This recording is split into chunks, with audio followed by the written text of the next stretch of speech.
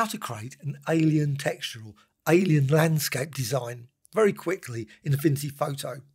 Few, very few steps, a couple of layers, some patterns, gradients, and that's about it. So this design, let's just go to File and New. And I'm just going to go for 1920 by 1080. Of course, you can go for any size, but that's what I'm going with. So click Create. Then just go over here, Rectangle tool and just drag this down and create a rectangle, filling the entire design. Well, once you've done that, you can go over here to the gradient tool, select that, and simply drag from top there all the way down there, and now you've got white to black. What you can then also do is go here and ellipse tool. Hold down the shift to create a circle design, something like that. You can still manipulate it, so you can go up here, gradient tool, and you can just simply click and then move that around. I want more black than white there. So I've got that. Need to now convert it into a pixel layer. The moment it's a shape. What you need to do then is go to layer and down here to rasterize. Now you've got it rasterized, you can now turn it into a pattern layer. So layer and just down here, new pattern layer from selection. Just using this, this design, that circle, and then you get that and you can resize that. Now you can also simply select this one and go down the bottom here and just delete it. So it's deleted. Now you can go to this.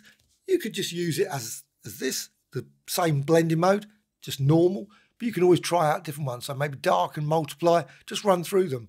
I always think lighten looks great, creates a weird sort of ghostly like effect. Maybe go with difference.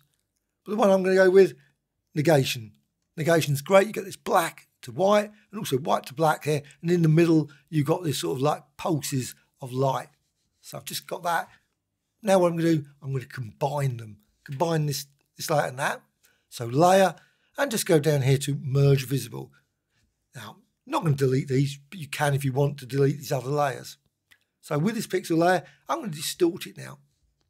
Now filters and distort and deform. Now you could, of course, make these circles a lot smaller, but for purposes of this video, so you can actually see it, I've obviously just made it them much larger, but you could really make them fairly tiny and then do exactly the same steps. So with this, now deform this. You can see then, just deform. Now, one thing that's problematic sometimes, if you've got the hand tool selected, you will not be able to use these pins.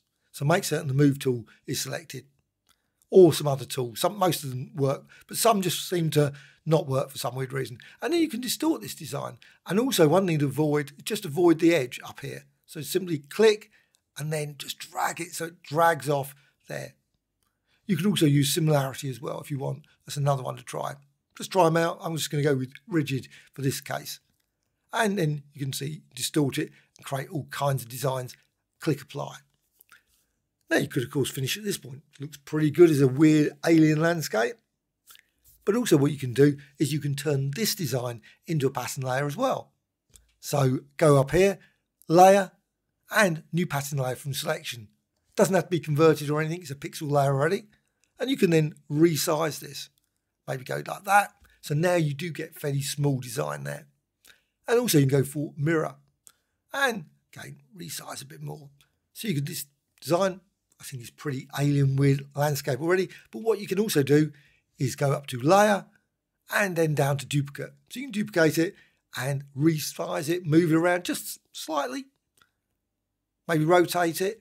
And also you can go to layers and you can just try them out. Just go through. I think sometimes lighten looks really great. Maybe screen, maybe go for add, lighter color, always looks good. Sort of got weird sort of combinations of the gradients there. Overlay, or maybe go for a difference. And again, you can still resize this. So you can always go here, just move that around, just try out different designs. Sometimes a certain angle just be just exactly right. And you think, yes, that's what I want for my design. And you can always just select that one, that one. You can go to layer and you can go for merge selected. It will try and merge it. Doesn't always work. So merge visible. So it's all merged into one single pixel layer. And of course, you think, I don't actually want black and white. What I want something slightly different. So what I'm going to do, select that. Also, you can go to filters, colors, and auto levels. Sometimes creates a slightly better result. Also layer and down here to new adjustment layer. And you can use things such as gradient map. So gradient map, default one, not particularly a favourite of mine, but still you can also sort of add others there. So just maybe go there, go with black, and you can create a really weird sort of unusual design like that. Or simply just remove that. You can go to layer and new adjustment layer, maybe go for recolor and then go for something like red, or maybe change that to a golden yellow, just simply just maybe gold like that, just about there. And you can, of course, modify saturation, maybe change the lightness, and so on to create all kinds of different colourful designs. And that's it. Hope you found this tutorial of interest. Any questions, please let me know in the comments below. Always great to hear from you. A like or dislike, always appreciated. Bye.